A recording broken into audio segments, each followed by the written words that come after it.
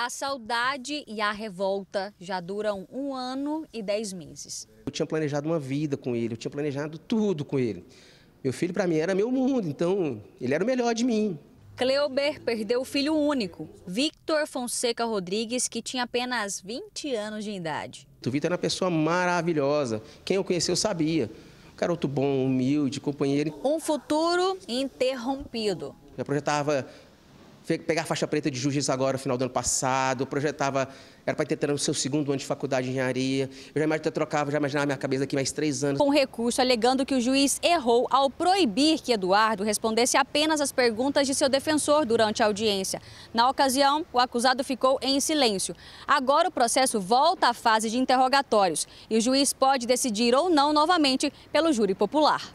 A defesa tenta ainda mudar a tipificação do crime de homicídio doloso para culposo, quando não há a intenção de matar. O recurso da defesa e a decisão do Tribunal de Justiça contaram com a concordância do próprio Ministério Público, o que sinaliza pela impossibilidade de ser alterada nas instâncias superiores. E a justiça que deverá prevalecer é a de que os acusados não poderão ser julgados ou mesmo condenados por homicídio doloso, como se assassinos frios e cruéis fossem. O advogado das famílias das vítimas afirma que isso não irá acontecer. O Tribunal de Justiça do Estado de Goiás anulou o processo, determinando que ele voltasse à fase de interrogatório.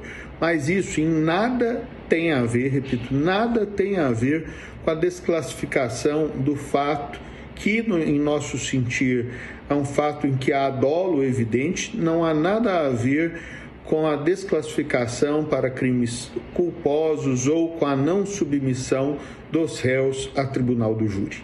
O pai de Victor, assim que recebeu a notícia de que a justiça havia anulado parte do processo, precisou de amparo psicológico. E eu fiquei em pânico na hora. Eu parei o carro no acostamento, acessei a internet e vi numa mídia que tinha falado que a pronúncia tinha sido suspensa. Aquilo ali me deu uma revolta muito grande, eu fiquei desesperado. Para ele, essa foi mais uma manobra dos advogados dos acusados para prolongar ainda mais a dor dessas famílias. Desde o começo, eles têm tentado achar do brecha, desde o primeiro advogado lá que foi fazer uma cirurgia um tendão de Aquiles bem na data da audiência, que trocaram de advogados e que suspenderam porque pensavam. Então, ou seja, a gente sabe que tudo é manobra. Mas ele acredita que o julgamento irá acontecer e espera que a punição seja exemplar. A gente está consciente, sim, no júri, a gente está confiante que não vai mudar, que vai continuar para a júri popular e que a justiça seja feita, simplesmente isso. Não quero leite italiano, não tenho ódio de ninguém, mas tem que ser feito, porque senão vai mais Cleubers vai perder filho, mais Vitos vai ser enterrado antes do tempo, mais Fernanda vai perder sua filha de 15 anos, a menina de 15 anos, linda, de boa também. E aí?